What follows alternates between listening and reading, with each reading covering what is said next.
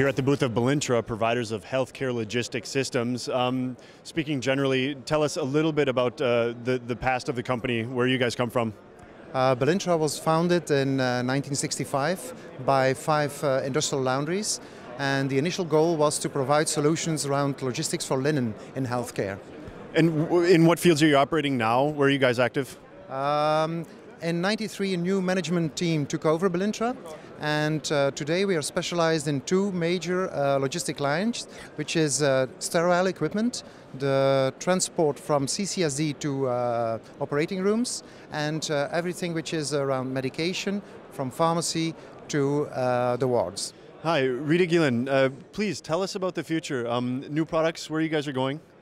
Um, Belintra would like to go worldwide with all the products. We are uh, we have two specialisms in the products. It's uh, the storage for the CSSD and transport for the CSSD department, uh, including transport and storage for and in the OR.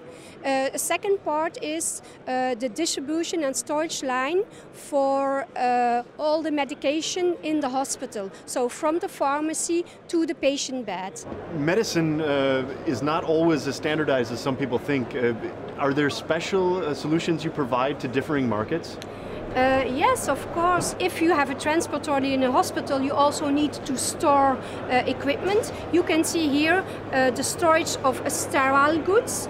This is, for instance, an instrument basket, and uh, different countries work in a different way uh, to sterilize, to wrap instruments, and to transport.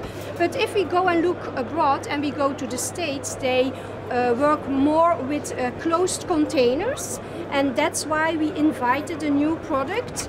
Uh, it's a telescopic runner with a shelf, so that he can work on a very ergonomic way. Put a container on the shelf, slide it in, and it's work with a soft closing.